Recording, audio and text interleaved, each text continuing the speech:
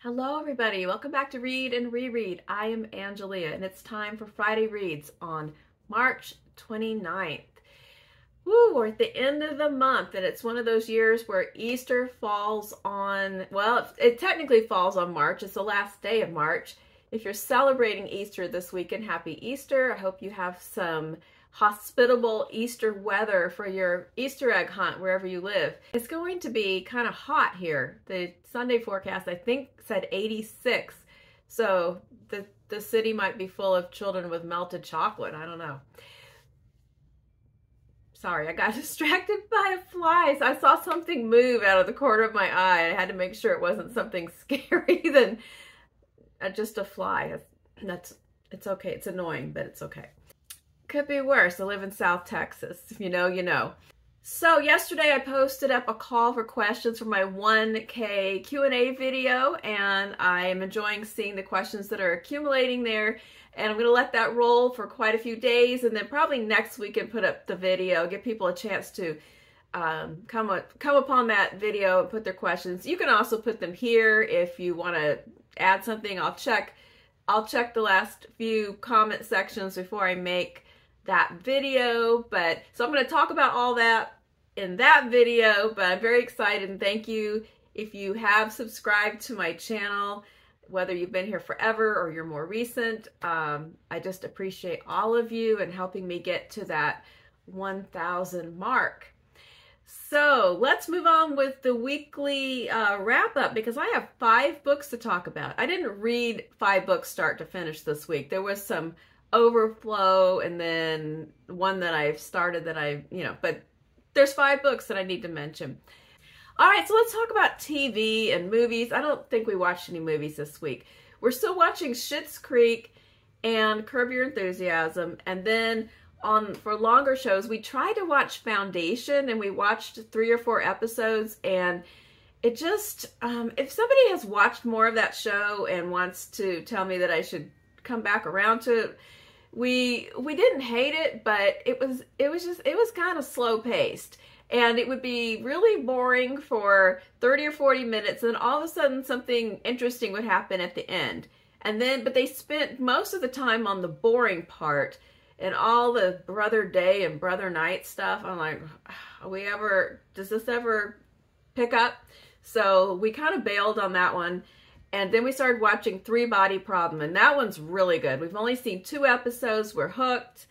Um, I can't say much about it for two reasons. One is it would be a spoiler, and also I don't really understand. I mean, I it's like different things are unrolling, and how they fit together, I don't yet know. There's two time periods. One is in the 60s and 70s in China, and one is in current day London in the current day, scientists are experiencing an anomaly where their data isn't making any sense anymore, and there has been a string of scientist suicides, and there's um, there's someone investigating what's going on. And then in the past, there is a woman who is the daughter of a uh, renowned physicist who has died for the cause during the Chinese Cultural Revolution, and that's all I can tell you about. It's about the daughter, the adult daughter, and who also has the scientific knowledge and mm, that's all I'm going to tell you about that. So anyway, it's really good so far. So let's move on to the books. All right, so when we last left off, when we left off last, I don't know. I was I was reading two books that I did finish. And I don't know why there's all these post-it notes stuck to the front of this book, but I did finish Moon of the Turning Leaves by Waubgeshig Rice, um, Canadian Indigenous author. If you're interested in these books, you need to start with the first book, which is Moon of the Crusted Snow. In that book, it is a post-apocalyptic sort of survival tale of a an indigenous village in northern Canada. Everything, um, it's in the current day in that book. Everything suddenly goes off the grid. All the power, phones, internet, everything shuts down. And since they live in a remote village, they don't really know what's going on out in the wider world. And they start to hear a few reports from people who make it back to town and some strangers who show up, but they don't really actually know. But they have to use um, both their just their general intelligence and some traditional skills to learn how to live off the land once they realize that this is not a temporary situation. So that one is just a really interesting. It's very it's a very tight kind of story with because it's all in this town and they don't know what's going on outside. This one's different because it's 12 years 11 or 12 years later. They're living in a different location now. The survivors from that village have moved to another location where they've set up a community, but they need to move again because they've started to exhaust some of the resources like the with the hunting and everything in the area and they want to move back to another area that is in the general vicinity of where their ancestors came from uh, before they were moved and shuffled to different places by colonial activities and you know the encroachment of the white people that came to Canada. So they they're kind of scouting out. They want to scout out an area around the Great Lakes, and so a little group goes on an expedition, and it's it's fraught with tension because a previous pair of people also went to try to do the same thing, and they never came back. So there's the kind of things like you know the the funny sounds in the woods and threats and coming across other groups of people and they're still trying to collect clues about what might have happened actually 12 years ago and they learn a little more anecdotally from people that they encounter and also it's something happens it's I okay I, this is kind of a niche weird thing that I always find fascinating it, because I read a lot of uh, kind of post-apocalyptic and dystopian type novels is when somebody somebody is going through basically the ruins of the previous civilization and trying to understand from what they see and what they find what might have happened. And just the idea of everyday life just being stopped in its tracks.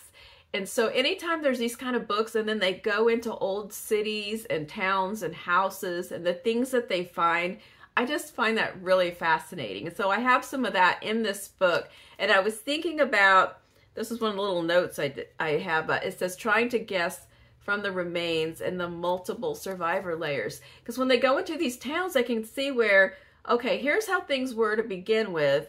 And then somebody came through later and this happened. And then it looks like somebody also came, you know, so there's the way it was and, and whatever's left from that. And then the times that people have squatted in those buildings and just it's this whole kind of archaeological sense of trying to understand what happened even though it wasn't that long ago and you were around when that ha- when that occurred to begin with.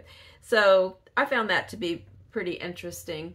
I would say between the two books, I liked the first one the best. Just I thought that the structure was perfect for the themes that Rice was examining and this one's a little more diffuse. It it feels like a bridge book, really.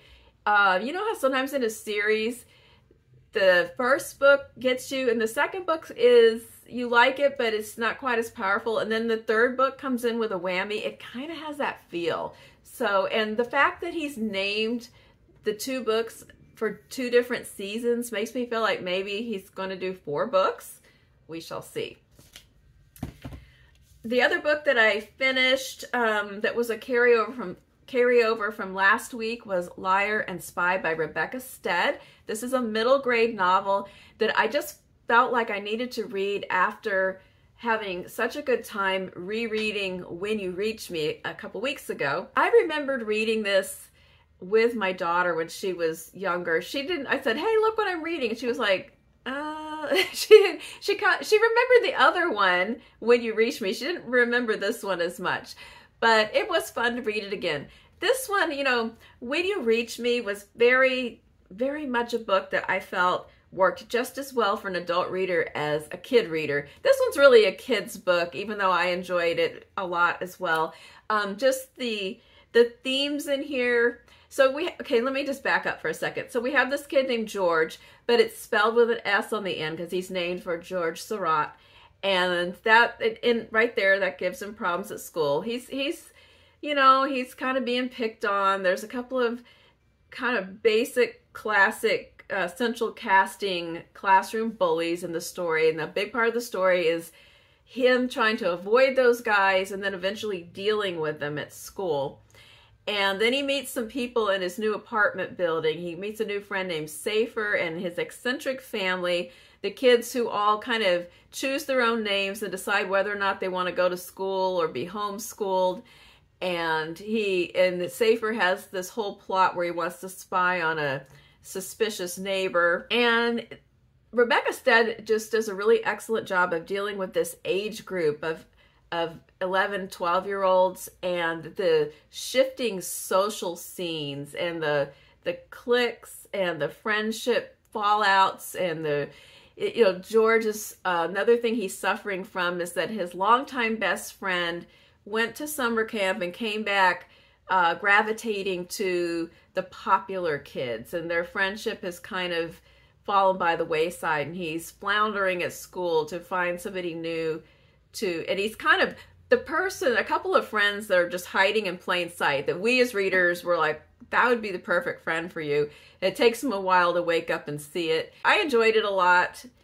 I was happy to read it again. All right so then we get into some books. There's two books that i actually read start to finish since last we spoke and one of them is a collection of short stories roman stories by jhumpa lahiri this is one of the books that I got in my big Christmas haul, and I finally had time to read it.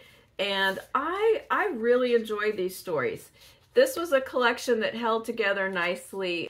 Jhumpa Lahiri has written short stories and novels. The ones that I have read are The Interpreter of Maladies, Unaccustomed Earth, and The Namesake. Those were all written in English and had to do with the experiences of either immigrants from India who come to America or Indian American people born here, maybe would have immigrant parents. And they're really kind of beloved books, especially Interpreter of Maladies, which I do agree is her best book. That's if I if I had to only keep one of her books to reread, that would be the one I would grab.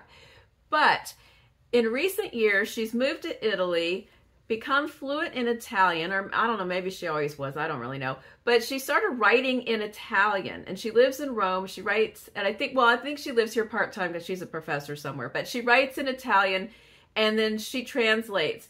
She translated most of these stories, and then another translator translated a couple of the stories, Todd Portnowitz. So it's kind of a collaboration. I think that's an interesting shift. And um, reading reviews of this book, if you if you just read editorial reviews from publications like the New York Times or Kirkus Review, very solid reviews. If you go into something like Goodreads and you read uh, a lot of personal reviews, a lot of people they either they didn't dislike it, but they kind of lament that she's not writing the type of stories she used to write. And I didn't really share that opinion. I think that's kind of like when you expect a band to only play those hit songs from 30 years ago at the concert. You don't want to hear any of their new stuff. Uh, I don't. I just don't think it's really fair. I think it's fine to evolve and grow and explore different avenues of your your writing basket or whatever it is. So I actually I really love the setting, the Rome, the fact that all the stories were in Rome and were from different points of view, from different kinds of people. Um, what I did not love was the uh, choice that she made, which felt a little bit like an affectation to me, of nobody having names. Occasionally, someone has an initial, but no one actually has a name in any of these stories, and that made me feel a little distant. Especially because I didn't. If I read one of them, like if one of them was in um, a magazine or something and that was the only story I read or in an anthology. But when when it's story after story and they all do that, it started to get a little old. So that was the one thing that I really didn't like. But her descriptions are beautiful. Okay, so you won't see that I just edited a chunk out because I immediately launched into a complete spoiler explanation of an entire story. So that has now been excised. My favorite stories from the collection are P's Parties, about a man uh, who goes to parties annually. Uh, a friend of his wife that throws these wonderful parties until he kind of screws it up. And then we have uh, The Steps, which was a series of vignettes of different people who travel up and down these long steps every day. And there's different uh, people from different different ages, different social classes, different ethnicities, and their experiences in the city. And then my other favorite story was Dante. Oh gosh, how do you say Dante Alighieri? Am I saying that right? Um, I know that it refers to the writer Dante, but it's a story about a woman who's she's she's at her mother-in-law's funeral and she's reflecting back over her life and her whole history of romances and love and uh, her experiences in Rome. And um, I just want to share this one paragraph that gives you a sense of Lahiri's writing in this book and why I enjoyed it. And she's remembering she she's had this uh, she's told this story about this turbulent early romance and this kind of love triangle with her friend and this boy who writes a note and calls himself Dante. My parents were totally oblivious to my first romantic crisis. They tended to be unaware of my thoughts, problems, and worries. They didn't ask many questions, as if their curiosity, once activated, would reveal too much about the creature they'd made together. They accepted that we had different tastes. At the supermarket, there were items in the cart designated for me alone, for the sandwiches I took to school, and for my snacks. They preferred to keep an eye on me from a distance, always cautiously, which made me feel like a dark, armored organism in their eyes. At dinner, conversation was scant, at home, we played host to silence, as if it were a relative who lived discreetly among us, who came out of his room for meals, who joined us only when we were together, and toward whom we had to behave with attention and respect. So I really did enjoy Roman Stories by Jhumpa Lahiri. It makes me want to go to Italy. Then the next one, this is my favorite book of the week that I actually finished. Though the one that I'm reading now, if I actually did finish it, it might have upended it. But the one that I finished that I loved was my reread of O. William by Elizabeth Strout.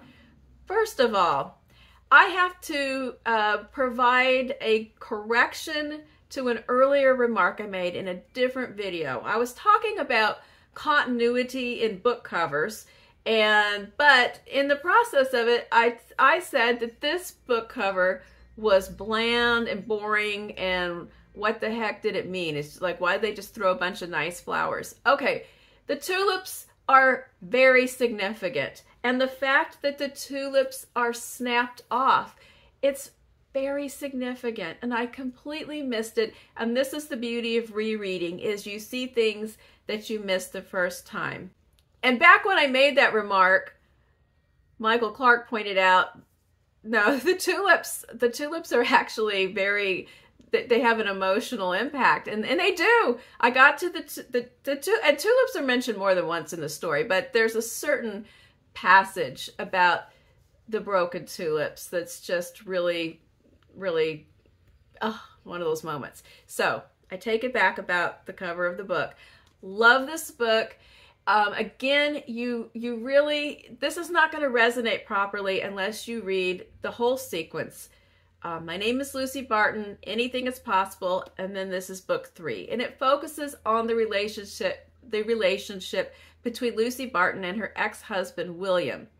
And Lucy and William were married for about 20 years, had two daughters, and then they've been apart for about 20 years at the time of this story. The daughters are grown, the daughters are married, and they they all live in New York City. William has been subsequently married two other times. Lucy has been subsequently married, and her husband has recently passed away. So at the time of this story, William is he actually has a birthday. He turns 71, and Lucy, I think she is early or mid 60s. She's younger than William. And in this story, William finds out two things that I'm not gonna. I'll, I'll only. I'm not exactly gonna tell you because it kind of ruins. You know, it's a spoiler. But he find two things happen, and he asks Lucy to accompany him on a road trip to Maine to look into a family mystery that he found out um, a piece of information about his deceased mother that he never knew that was kind of shocking to him, and he wants to investigate it a little further. And he asked Lucy, as uh, the person who knows him best and the person who's known him the closest and the longest, if she will go along kind of as moral support on this trip, and she does. So, plot wise, that's what it's about. But what it's really about is so many things. And I, I took the most of the notes out because there was, I swear there was 20 notes stuck in here. And this is the second time reading. Well, I had this post-it note where I had like 12 things that this book's really about. And of course, I've lost the post-it note. So what is this book actually about? It's about Lucy and William trying to understand themselves and each other and the fact that we are never going to completely understand ourselves or each other and we can strive we can try we can uncover you know new layers of the onion but we're never going to get down to the bottom of everything. We're never really going to know another person and lucy says this in the book. And it also applies to her mother-in-law catherine cole. This is one of the ways in which strout is a master at writing character because Catherine Cole, William's mother, is such a vivid and memorable character, but she's not even alive in any of these books. Maybe the first one she's still alive, but she's she's a dead person, but her presence is so important. And it, it also Lucy describing Catherine says so much about Lucy because Lucy will say, "Okay, here let me tell you about my mother-in-law. She was so kind and likable and generous. And then she tells these stories, and I'm thinking, whoa, this woman is a piece of work. She's passive aggressive. She's she's really an odd one. And then I think, does Lucy not see that? Does she see it, but she doesn't feel like she should say it? Does or she doesn't really get it? And and then I think, well, and none of these people are actually real. I'm sitting here puzzling over all of this, and these are all just invented people that Elizabeth Strout made up. And I'm also fascinated by the fact that Lucy is a novelist. The character Lucy Barton is a novelist, but these books are not her novels. These books are like asides from Lucy's life, but we hear mentions of novels and a memoir that she encounters other people who have read them and they have a reaction. So that's another layer. But they're all fabricated they, and they're not real. And I've spent a whole bunch of time thinking about them and about Lucy and her therapist and how she's has post-traumatic stress and so did her father and her issues with her mother and her father and William's issues with his mother and oh it's all there's so much depth of character in these books. If you need a fast-paced plot with lots of stuff happening, this ain't it. But if you like complicated multiple layered people and and you like writing where it the style is simple and you cannot for the life of you figure out how the author got her emotional hooks into you so deeply then you should read Elizabeth Strout who I maintain is underrated even though she gets a lot of coverage. I still don't think that just the the sheer talent is is being fully acknowledged. Oh, William. It was really good. All right, so that leads us to what I'm reading now, and my poor little brain is just exploding and melting with the goodness of the reading this week because now I've started reading James by Percival Everett, and oh my goodness, I am trying to read slowly. I am a kind of a fast reader. I kind of gulp and gobble, but I am trying to slow it down and savor it. And I don't want it to go by too fast. And yes, it is it is living up to my expectations. I'm on page 92. I don't know. It's not that long of a book. I think there's 300 and something pages. And I think I'm just going to save, this video's been long, so I think I'm going to save all of my remarks about James for next week because I probably will have finished it by then but it is Percival Everett's new book, a retelling of Huckleberry Finn from the perspective of Jim.